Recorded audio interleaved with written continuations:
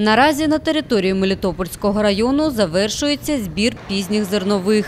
За словами першого заступника голови Мелітопольської райдержадміністрації Володимира Журавльова, врожайність соняшнику та інших культур досить непогана. Урожай подсолнечника почти 16 центнеров с гектара. Это нас, в принципе, радует. Э, Соя э, сыпет э, 38 центнера, но она в основном вся на поливе также радует. Э, И надеемся, что мы на этой неделе, в принципе, максимально завершим уборку сои и подсолнечника.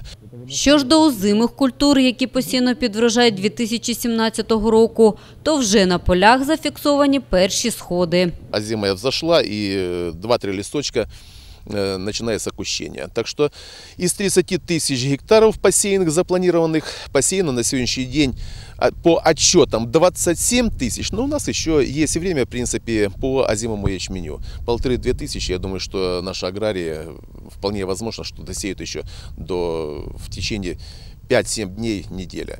Так что я э, надеюсь, что э, будет выполнено 100%. Посевная компания заложен хороший урожай под урожай 2017 года зимы зерновых.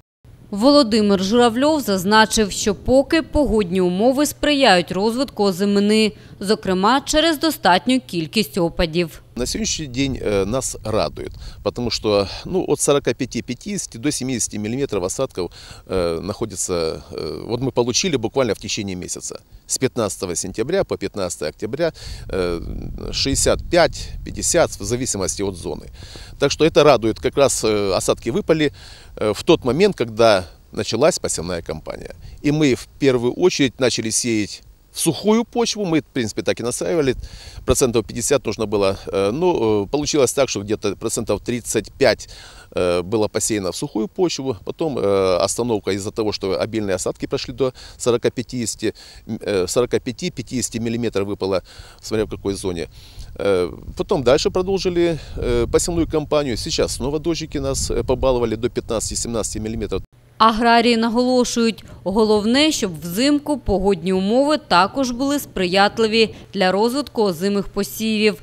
Тоді шанси на отримання високих врожаїв зростуть.